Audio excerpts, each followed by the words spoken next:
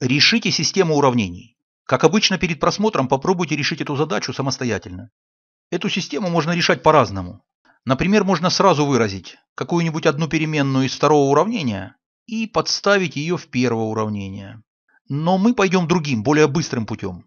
Распишем в начале разность кубов в левой части первого уравнения по готовой формуле.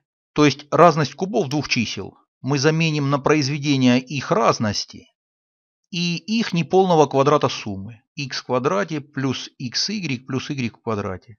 Все это должно быть равно 7, а второе уравнение пока перепишем. Теперь разность x минус y можно заменить из второго уравнения на единицу. То есть в левой части первого уравнения у нас останется только неполный квадрат суммы переменных x и y. x квадрате плюс xy плюс y в квадрате равно 7. Второе уравнение еще раз перепишем. Теперь попробуем еще раз заменить x минус y на единицу в первом уравнении.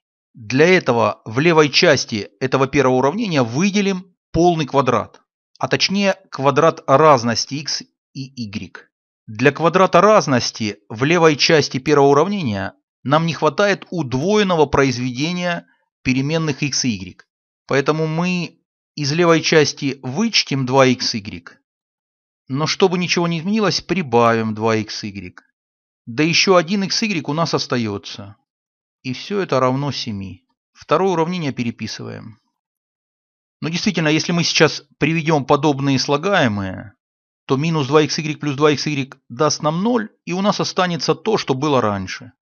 И теперь первые три слагаемых в левой части первого уравнения дают нужный нам квадрат разности. То есть в результате мы получим x минус y в квадрате плюс, приводим подобные слагаемые, получаем 3xy и все это равно 7. Второе уравнение переписываем. И снова x минус y можно заменить на единицу из второго уравнения. То есть x минус y заменяем на единицу. Единица в квадрате будет единица и сразу переносим эту единицу в правую часть со знаком минус. Тогда первое уравнение будет иметь вид 3xy равно 6. Второе уравнение переписываем. Делим обе части первого уравнения на 3, получаем x умножить на y равно 2. А из второго уравнения выразим одну из переменных, например, выразим x. Тогда x будет равен y плюс единица. Подставляем вместо переменной x y плюс 1 в первое уравнение. Получаем y плюс единица умножить на y равно 2. Второе переписываем. Раскрываем скобки в первом уравнении и переносим все в левую часть. В результате получаем квадратное уравнение y в квадрате плюс y минус 2 и все это равно нулю. Второе переписываем. Решая первое уравнение, получаем два корня. Или y равен минус 2, или y равен единице. Второе уравнение переписываем. Последняя система будет равносильна совокупности двух систем.